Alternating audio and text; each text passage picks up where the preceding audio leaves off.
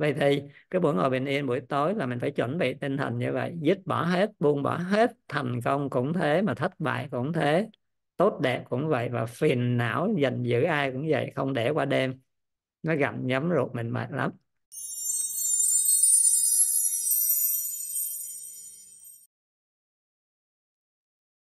Cả nhà mình mở hết camera lên lại coi.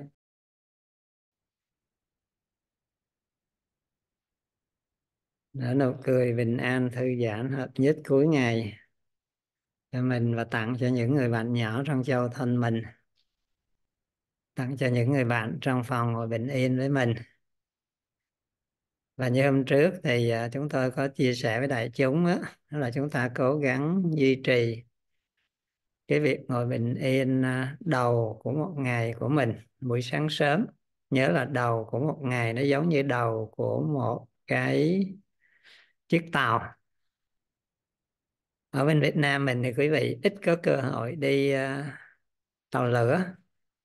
Nhưng mà châu Âu thì hầu như là ngày nào cũng phải đi làm việc bằng uh, không uh, tàu xa thì tàu gần tức là đi metro bên Nhật cũng vậy. Nói chung là các cái xứ người ta sử dụng cái đó thường xuyên thành ra chúng ta nhớ là cái đầu tàu mà nó đi đúng hướng thì tất cả những cái toa ở đằng sau nó sẽ đi đúng hướng.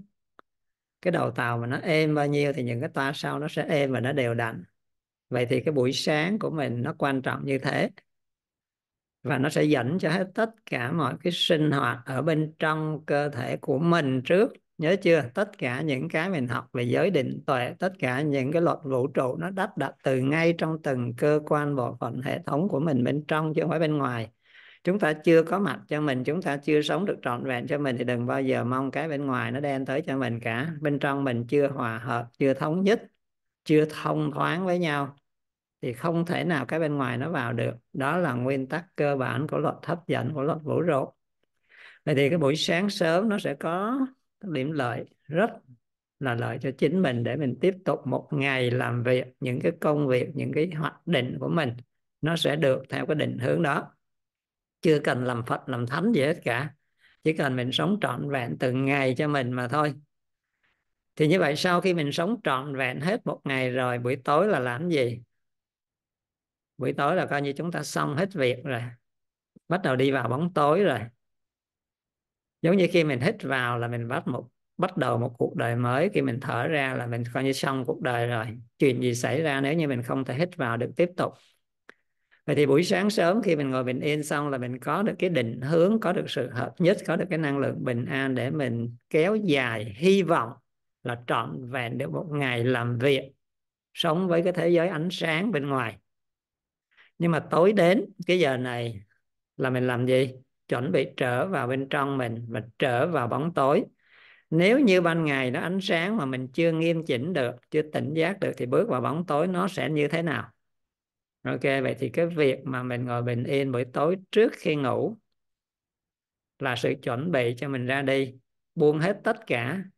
Dù có thành công cách nào, có tốt đẹp cách nào cũng buông. Và dù có phiền não cách nào, rối rắm cách nào cũng buông. Để làm gì?